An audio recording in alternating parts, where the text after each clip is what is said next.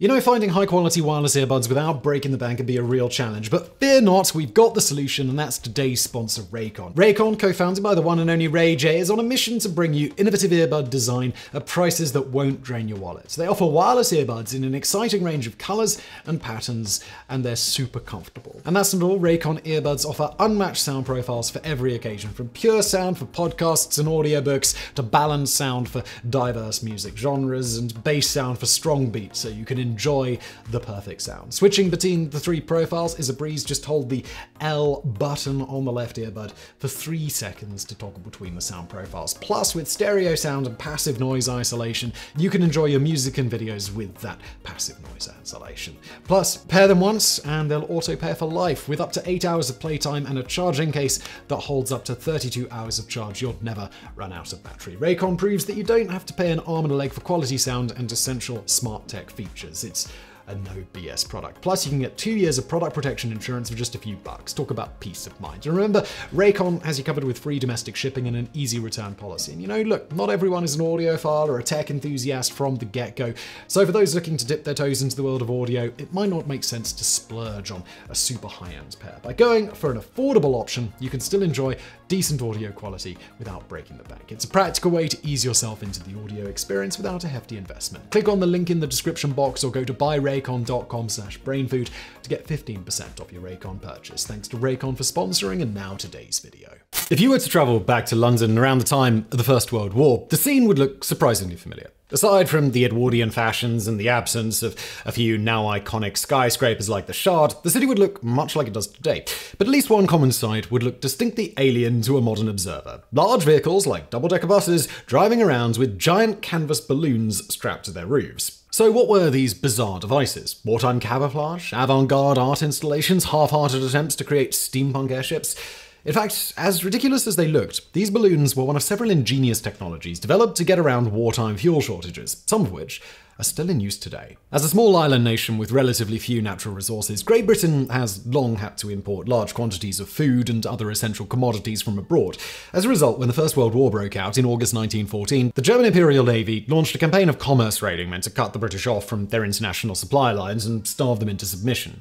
While at first this was largely carried out by surface raiders following the so called cruiser rules, the operation soon escalated into a campaign of unrestricted submarine warfare, the first of its kind in history. With German U boats sinking an average of 60 merchant ships a month by the end of 1915, Britain began suffering from severe fuel shortages and fuel. This, along with the prioritization of petroleum products for military use, left very little fuel available for civilian use. Indeed, in July 1916, petrol was officially rationed, with fuel tickets being reserved for key workers and a fuel tax imposed, which doubled its price to one shilling per gallon. Thankfully, Britain did have at least one natural resource in abundance coal. In 1799, a French civil engineer named Philippe Le Bon discovered how to heat coal to produce a flammable gas that could be used for lighting and heating. Known as coal gas or town gas, this consisted mainly of carbon monoxide and hydrogen, along with traces of other gases like methane. Indeed, the high carbon monoxide content of town gas is the reason that people used to commit suicide by sticking their heads in gas ovens. While Le Bon failed to attract investors for his invention,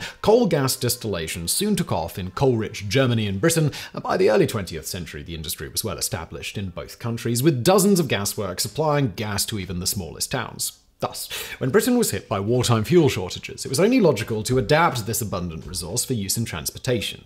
But while adapting regular petrol engines to run on town gas proved relatively straightforward, actually storing the gas in the vehicle was another matter entirely. Unlike many other fuel gases, town gas can't be stored in pressurized cylinders. There are two main reasons for this. Firstly, unless the cylinders and fuel hoses are manufactured to an extremely high standard of quality, the small hydrogen molecules will gradually leak out through microscopic cracks in the metal. Secondly, compressing carbon monoxide causes it to decompose, making it useless as a fuel. Consequently, town gas must be stored at ambient pressure. In municipal gas systems, this was done using gas holders or gasometers, giant cylindrical reserves that telescoped to maintain the pressure of the gas inside.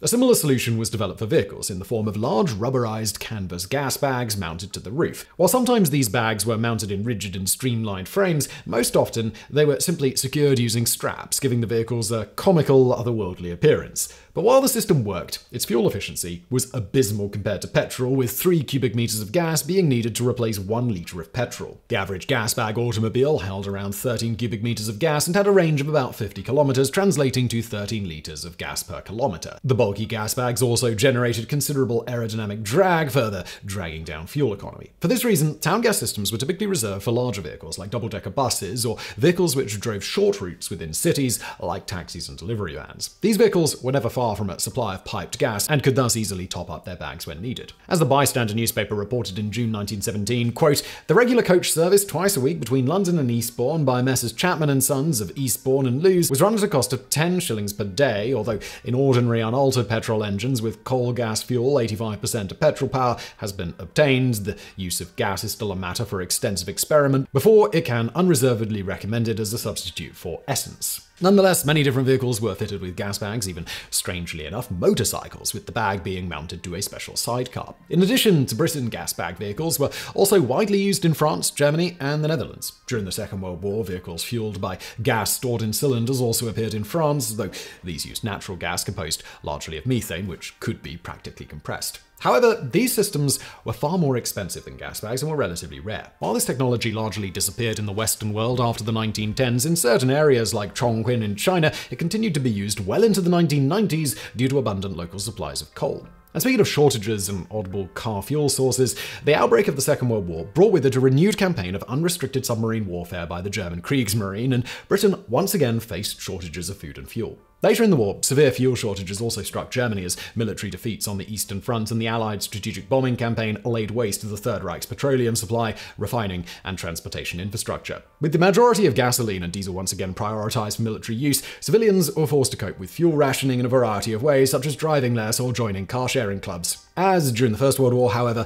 many also experimented with alternative fuel sources. But instead of municipal coal gas, most turned to a seemingly more primitive but surprisingly effective technology the wood gas generator. As the name implies, wood gas is produced by heating wood or other biomass above 1400 degrees Celsius and, like town gas, consists mainly of carbon monoxide and hydrogen. The wood gasification process was developed in 1839 by German chemist Gustav Bischoff, and by the 1870s, centrally produced and distributed wood gas was being widely used alongside coal gas for illumination, heating, cooking, and running stationary internal combustion engines. However, it was not until 1923 that French inventor Georges Imbert invented a gasifier compact and efficient enough to run an automobile. Imbert's gasifier consisted of four basic parts the gasifier proper, where wood chips were heated, a heat exchanger to cool the gas, a water based scrubber to filter filter out wood tar and other impurities that could clog the engine, and a specialized carburetor for feeding the gas into the engine. Like Philippe Le before him, Imbert failed to persuade the French government of the value of his invention, but gasifiers were widely adopted in Germany, which had limited petroleum reserves but large supplies of wood. By the end of the 1930s, over 9,000 wood gas vehicles were in use across Europe, while during the Second World War, over 73,000 were operating in Sweden, 65,000 in France, 9,000 in Norway, 8,000 in Switzerland, 43,000 in Finland, and half a million in Germany, helping to free up valuable petrol for military use. These gasifiers came in all shapes and sizes, some being mounted in the trunk of the vehicle some on roof racks, and others on small trailers. A number of vehicles were even factory built with the gasifier system pre installed, such as the Volkswagen Beetle and Mercedes Benz Type 230.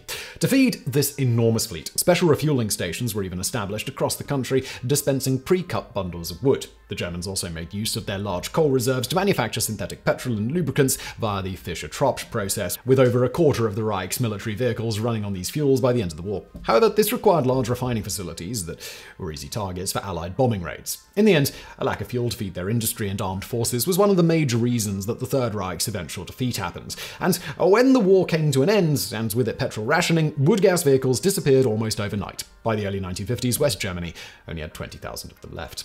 Yet wood gasifiers continued to be popular in several countries, such as Sweden, which, much like Germany, had no oil reserves but vast stands of timber. In 1957, the Swedish government launched a research program to develop a standard, optimized gasifier that could be fitted to a wide range of vehicles in case of a sudden oil shortage. The practical and theoretical knowledge gained through this research forms the basis of most gasifier designs in use today. Due to their relative simplicity and low cost of operation, interest in wood-powered vehicles regularly surges in times of fuel shortage, such as the oil crisis of the early 1970s. Today, the largest single user of wood gasifier vehicles is the People's Republic of Korea, where gasoline is in short supply thanks to international sanctions. But before you run out to purchase or build your own wood gas car, know that while clean burning and cheap to fuel, performance wise, these vehicles fall far short of their more conventionally powered brethren. The maximum energy density of wood gas is only 5.7 megajoules per kilogram compared to 44 for gasoline, and it's very slow burning, severely limiting acceleration. To put this in practical terms, one of the most advanced modern wood gas cars was built in the Netherlands by an off grid enthusiast known as Dutch John. Based off a Volvo 240 sedan, it can reach a maximum speed of 120 km an hour, cruise at 110 km an hour, and can achieve a range of 100 km on a single 30 kg load of wood, performance comparable to the average electric car. However, refueling the vehicle requires the driver to get out, chop down a tree, and reduce it into small wood pellets, a considerably more involved task than searching for the nearest nearest charging station. Thus, while wood gasifiers might seem like the perfect way to break free from the tyranny of the gas pump, in reality, they're only viable in extreme circumstances when no other source of fuel is available. Then again, would the Mad Max films have been anywhere as cool had its characters driven around in puttering wood fueled Volkswagens?